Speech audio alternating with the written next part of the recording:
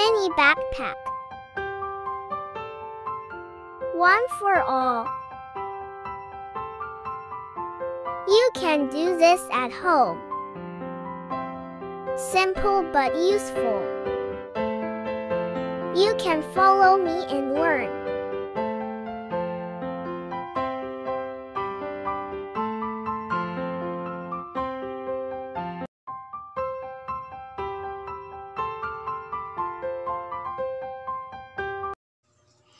Hi guys! Welcome back to my channel.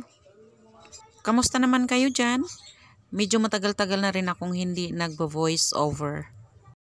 Kasi minsan, maingay na maingay dito sa amin. Kaya pinabayaan ko na lang ang mga videos ko na walang busis. At medyo matagal din akong hindi naka-upload kasi medyo busy ang lola nyo. Ang aking video ngayon ay gumagawa ako ng mini backpack. Ito ay aking irigalo sa aking apo. Hindi ko na lang inisa-isa pag instruct sa aking instruction kasi gumawa na rin ako ng backpack. Kaya parang same lang ang aking ginawa sa una. Kaya pwede niyo itong ma ano lang maalaala sa tinuro ko noong una. Ito ay maliit lamang. Ayan, mayroon akong mga ritaso. Kaya pinag tagmi-tagmi ko ito at nagiging backpack. Napakasimple lang ito kaya kayang-kaya nyong gayahin ito. Pwedeng pang regalo at pwedeng nyo ring gawing pang negosyo at pwedeng-pwedeng gamitin lang sa inyong magpamilya. Ayan. Ang ginawa kong strap ay printed na tila pa na kinabangan pa ang mga ritaso ko.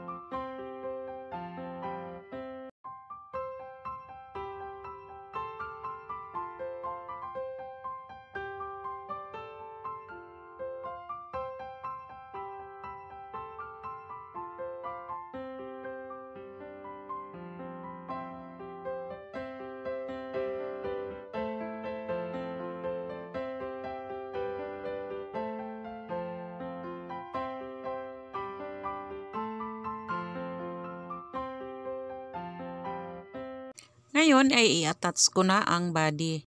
Pagpasensyahan nyo na ako, hindi ko na napakita ang pag-make ng body niya. Yung front side, may pocket na kasi siya. At zipper, piniping ko na din at i-attach na siya sa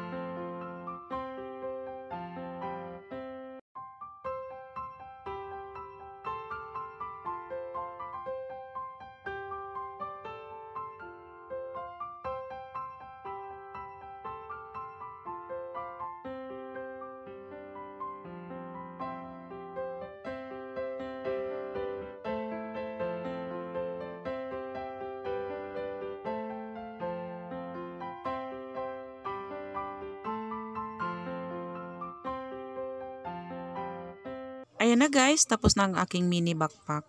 O ba ang cute-cute? Kung wala kang pambili, pwede ka namang gumawa ng pangregalo. Kaya guys, pwede nyo itong gawin sa bahay. Pwedeng pangregalo, pwedeng pang gamit sa mga anak nyo. At pwedeng pwede siya sa negosyo.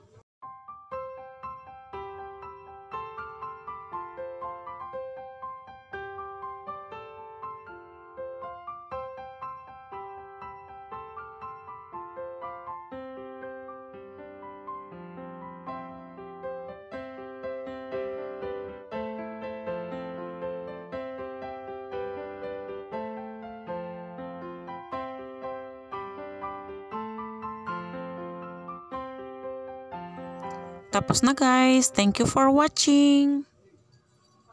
Hanggang sa muli.